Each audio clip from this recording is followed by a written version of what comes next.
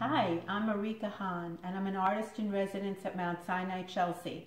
I love my work. I love painting with the patients. I primarily teach watercolor painting, and I love making flowers. And today I'm going to teach you how to make a poppy flower. But this time it's not a painting. It's made out of coffee filters. Yep, cone filters, number four cone filters. So I'm going to show you how. Okay, so the first thing you need for a coffee filter flower, a poppy or any kind, are coffee filters. And these are number four cone filters. They're the perfect size for poppies. The way we start is we're going to color them. You're going to need three colors. You're going to need red, green, and black. And these are liquid watercolors. These are what I use for teaching painting. But you can also use food coloring that you can buy in uh, any store food store or even a dollar store sometimes. So let's start by how do you color it? I have these little plates around. They're from takeout or you can use any kind of plastic plate or disposable. I never dispose of anything. I wash them and use them for the next time. It just makes cleanup a lot simpler. So I'm using a brush and I'm going to stick a skewer in here. It's going to be easy for me to take it off and hang it up to dry. Give it a quick turn. Back side is usually almost done. Another second, we're done. I like to have a cup handy so that I can take the skewer and just stick it in a cup and it can dry. We're going to need three red ones for this project. We're going to need a green one. This is already painted and dried. And we're going to need a black one. And that's for these little eyelash fringes that we have around the center. First thing we do is we make a center. And to do that, I'm using a wire. And this is a wire that you use for making flowers. If you can't find it, it's fine. You just get a skewer in the supermarket or the dollar store and you just paint it green with the same green that you use for the filter. So if you have a wire, if you can get a wire, this one is uh, an 18 gauge. You can get an 18 gauge, a 20, or a 24. 18 is heavier than a 18 than a 20 or a 24. You make a loop. I'm using white glue, and the best glue to use is tacky glue. I didn't have it at home, so I'm using Elmer's glue, glue all. It is white, but it dries clear. The other thing we're going to need to color is string for the center. All of these lines, they are not done with a marker, they are done with string. I couldn't find black string, so I just got string and I dipped it in the coloring and now I have black string. So let's get started. So I have my loop and I need a ball to put on top of it. If I had a styrofoam ball, I could use that. I don't have a styrofoam ball. So I'm going to take my glue and I'm going to put lots of glue on the inside. And then I'm going to start balling it up. This is going to be our center. I'm going to stick my little loop in there. I'm going to put glue in my loop, put it in the paper. I'm going to start squeezing around the outside. My nice center. Put some more glue on the top. Okay. And I'm going to need to cover this because we need this to be a light green. So I'm going to take my light green filter. I'm going to just tear it in half. And I'm going to cut a circle. It doesn't have to be a perfect circle. It just has to cover the little ball that I have made out of the paper. I'm going to put some more glue on it. Lots of glue for this project. I'm going to put the ball inside. I'm going to bring it around. I'm going to squeeze it. So I have a ball at the top and then it thins out. Now you could use floral tape to secure this, but I find floral tape to be expensive, hard to work with, and I just don't have any. So I've taken the green filter and I've cut it into some strips, oh maybe half an inch or so wide. I'm going to put little glue around this and that's going to kind of make the neck. It's going to secure this part under the top. And then we're going to move on to using the string, the black string, and that's going to make the nice pattern in the poppy. I'm going to put more glue at the top so that the string sticks to it. Clearly, I don't worry about using too much glue. Okay, so now I have my black string.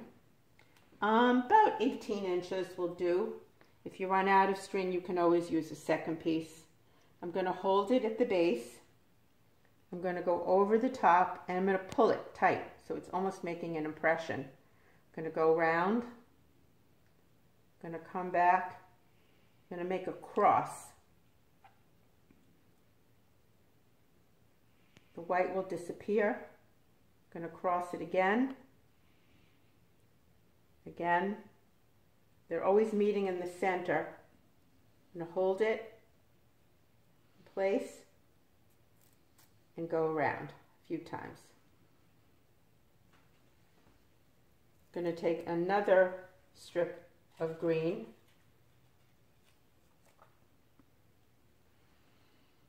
put a little bit more glue on that piece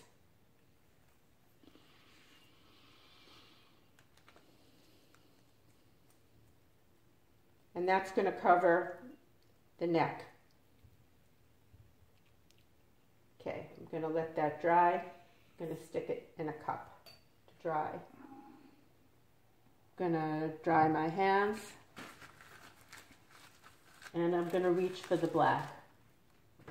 Now we're gonna make the little fringy eyelash pieces that are fun to make. So I'm gonna cut a piece, oh, about an inch, inch and a half. I'm gonna cut off the very end of the filter that has these little crimp lines. I'm gonna fold it in half fold it in half again, or you can just do the whole thing, but this is quicker. So now I just have one little piece to make fringes out of. You want your fringes to be about half inch, three quarters of an inch, but please be careful not to cut it all the way down because you'll cut it off. Also be careful of your fingers. When you're getting close to your fingers, just find another way of holding it.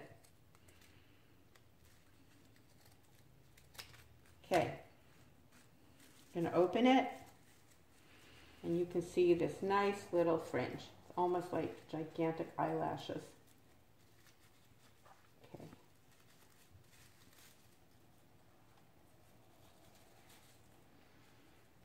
So I'm going to put, that's right, we're going to put more glue. I'm going to make it look like this. This one's already done. So we're going to make it look like that.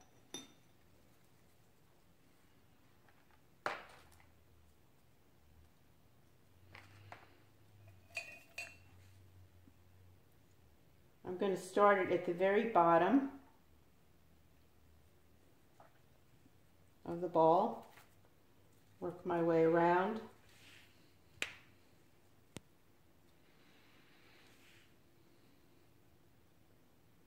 And since I cut lots more fringes, I'm going to put those on too. This is really the biggest part of the job. Putting the petals on is really easy and it's really fast.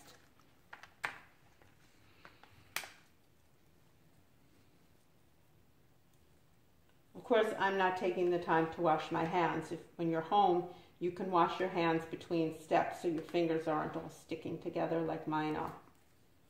Okay, I'm going to put this in a place to dry. And I'm going to take the fringe that is dry. It'll be easier to do the petals. Okay, let's go to the petals. I've got three dyed filters. We're not going to use the crimp ends. What we're going to do is fold them in half up to the crimp going to use three petals, and you might not actually use three because you have two sides to the cone filter. So you may just use two petals, but it's always good to have extra. Okay. We're going to cut basically an oval. Go up to the crimp, turn, and then taper down. Done. You have a wonderful texture with the poppy. So in order to get that texture, you can see all the lines in it. Just take the filter, almost accordion pleat it, really rough, forward and back, all across the wide part.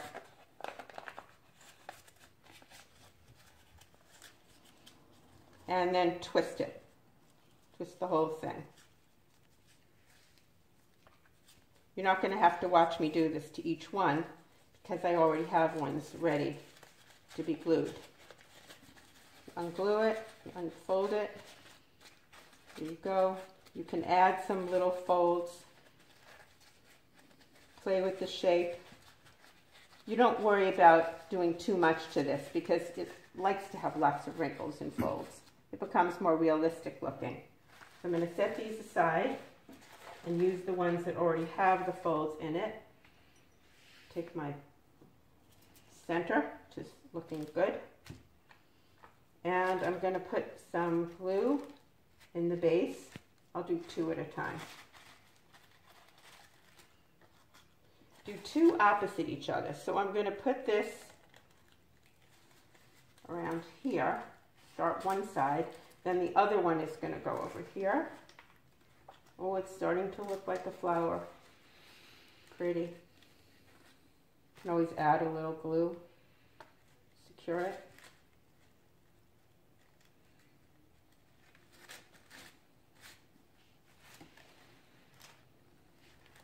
I think two more is going to be perfect. Put one over here. Pull it around. It's looking good.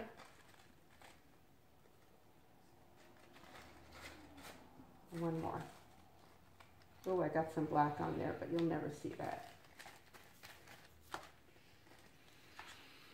When you do it, you'll be taking your time. I'm just trying to get this to the point that you can see how pretty it looks even in this quick video. Now at the bottom, we don't want to see this all crumbled up over here. So I'm going to take another strip of green, hold it down with a finger that doesn't have glue on it.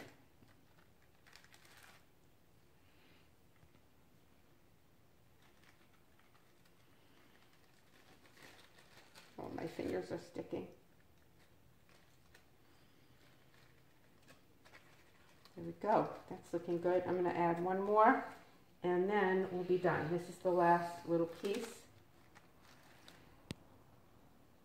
I hope you'll check back with me because I'm going to learn how to do more coffee filter flowers and every time I learn one, I would love to teach you how to do it too. So here is our beautiful poppy. I'm going to open it up and play with the shape when my hands aren't quite as sticky. So thanks for watching. Have fun.